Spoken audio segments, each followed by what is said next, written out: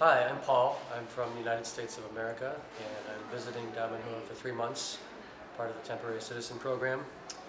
My green dream is for the entire world to grow and eat their own sprouts.